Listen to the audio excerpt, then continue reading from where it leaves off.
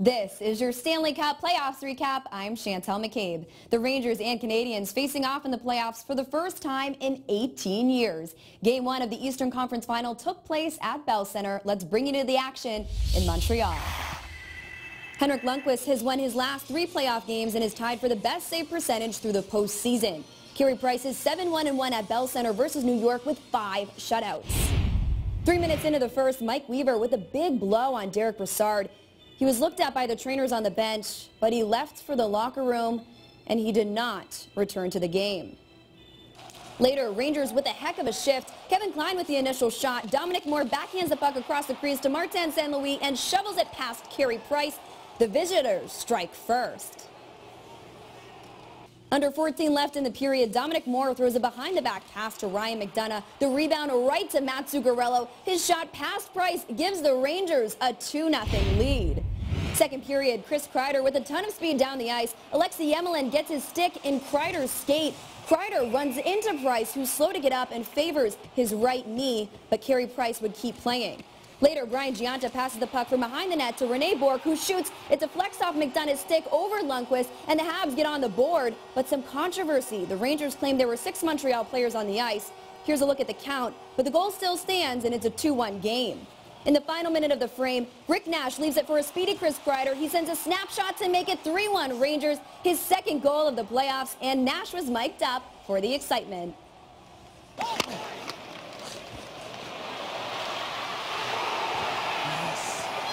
Had a boy, baby. Good job, kiddo. Good job. The old decoy.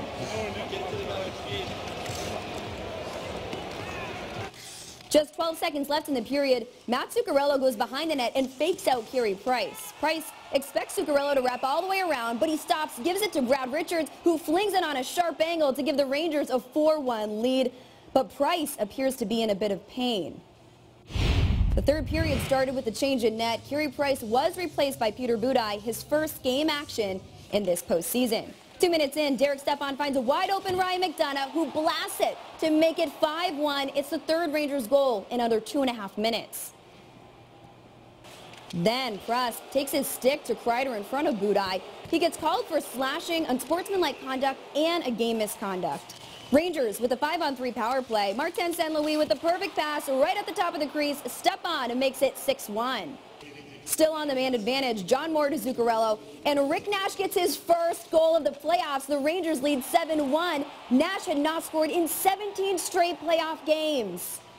But then, shorthanded, Lars Eller brings the puck in the zone. He takes a shot, and then the rebound, bar down. 7-2 the score, and that would be where things stayed. Lundqvist made 20 saves to get his first win at Bell Center since March 2009. This was the first time that seven different Rangers players have scored one goal in a playoff game since 1986. The Rangers take game one of the Eastern Conference Final, and inside the locker room, the Broadway hat was passed on.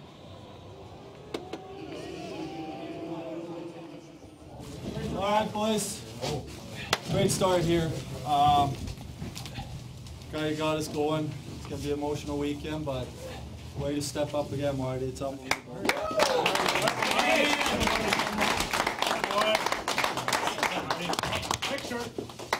Big win, boys. Martin St. Louis with points in four straight games, including three goals in those games. Game two is Monday in Montreal at 8 p.m. Eastern on NBC Sports Network, CBC, and RDS. Keep it right here for all of your Stanley Cup playoff updates.